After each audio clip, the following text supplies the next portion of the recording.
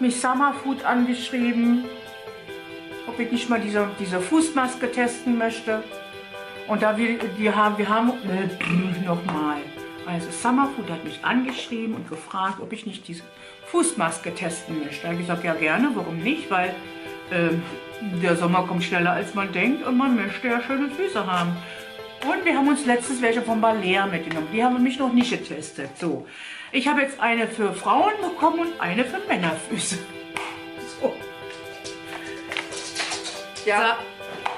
So. Omi muss jetzt leider den Mann spielen und die testet die für die Männerfüße und ich teste die für die Frauenfüße und so. Und wir testen erst diese, dann testen wir die von, na obwohl von Balea können wir erst später testen. Aber wir testen erstmal diese.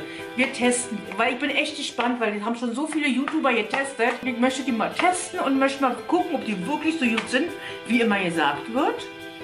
Und ja, die testen wir. Summer Food. Ja.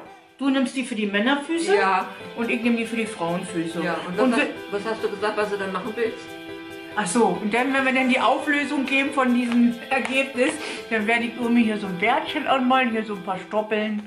Und dann hm, machst du deine Stimme tief und sagst, ja, ich habe die Männermaske getestet. Und ich sage, und nicht die Frauenmaske.